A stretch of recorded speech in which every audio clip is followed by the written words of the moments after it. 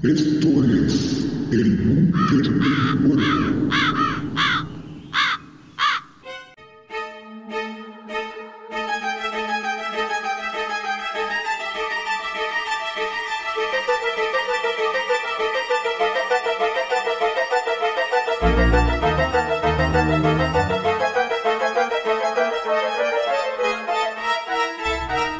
Coraline sí existió y su historia es aún más escalofriante que la película. Coraline y la puerta secreta. Coraline la puerta secreta es una de las películas para niños y adultos más oscuras que hay, pero más perturbadora que la cinta es la verdadera historia que se esconde detrás. Resulta que Coraline sí existió y su trágico destino sirvió de base para relatos, leyendas, libros y desde luego la película de animación dirigida por Henry Selick en 2009. Pero la historia real de Coraline está lejos de ser una historia para niños, mucho menos una con un final feliz. La verdadera historia de Coraline en realidad la película está basada en la novela del mismo nombre escrita por el británico Neil Gaiman en el año 2002. Sin embargo, la historia original proviene de un antiguo y escalofriante relato de su pueblo natal, el condado de Hampshire, en el Reino Unido.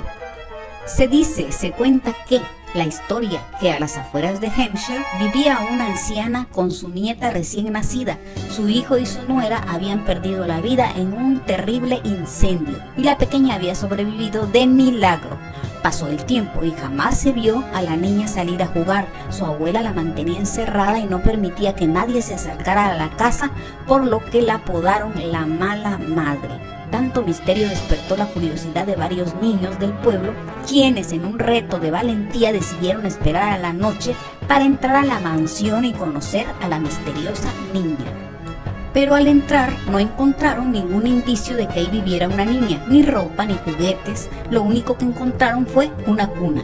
En el interior encontraron el cadáver de una bebé, casi totalmente quemada, con botones en el lugar donde deberían ir los ojos y costuras donde antes habría estado la boca.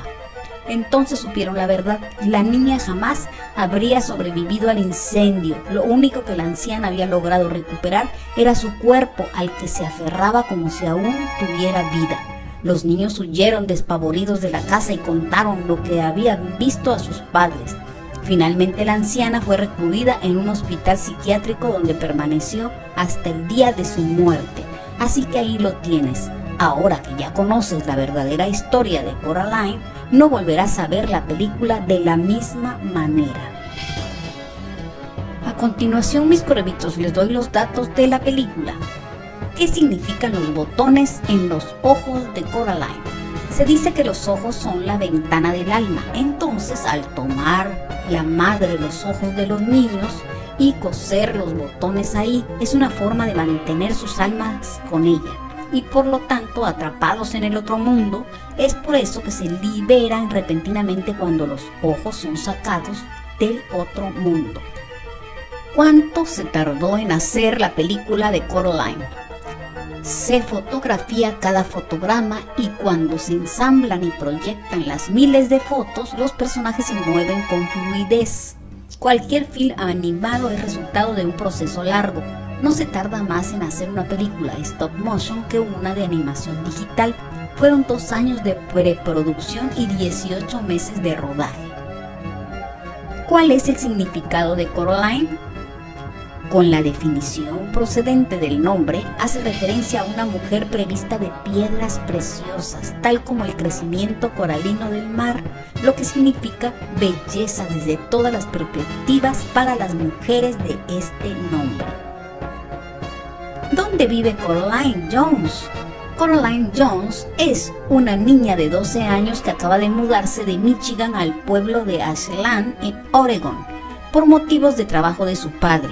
Específicamente se muda a lo que parece ser una muy peculiar casa duplex llamada The Pink Palace, donde también viven el señor Bobinski, un amaestrador de ratones. ¿Cuándo nació Coraline? la novela de Coraline, novela publicada en 2002 y es estrenada por primera vez en salas del cine el 6 de febrero de 2009 en los Estados Unidos. ¿Cuánto mide Coraline? Réplica de la muñeca de peluche que aparece en las películas de Coraline basada en el cuento ilustrado de Neil Gaiman y que fue llevada al cine por Henry Selick, esta muñeca mide 25.4 centímetros. Ahora vamos con los personajes. Como principal protagonista Coraline Jones, Mel Jones, Charlie Jones, la otra madre, el otro padre, el gato, Weeby Lovat, April Spink y Miriam Forcible, señor Alexander Bobinski. ¿Cómo se llama la canción de Coraline? Según la respuesta buscada en Google, está en el idioma gujarati y se titula End Credits Coraline y la puerta secreta. Finalizo mis cuervitos con la letra primero y finalmente con la canción, que según es sin copyright, a ver qué dice el señor YouTube. Si no la han visto, se las recomiendo.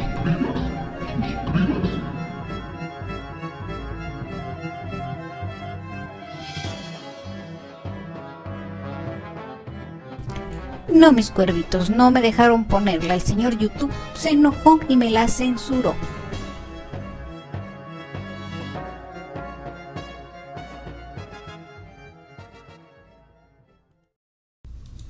Esto fue el búnker del cuervo.